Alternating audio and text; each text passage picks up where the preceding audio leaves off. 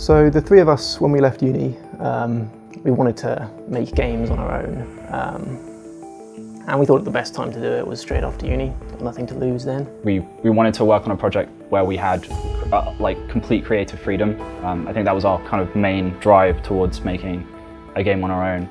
We just kind of wanted to try and make our own thing, see if we could make a game, which I'd like to think we can now, um, yeah.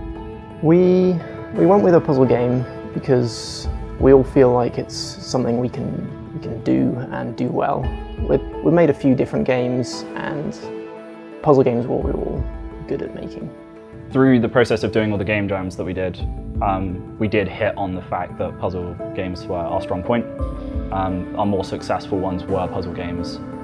And so it just felt natural, um, at least in that game jam, that we kind of fit into that niche again to try and do something that way.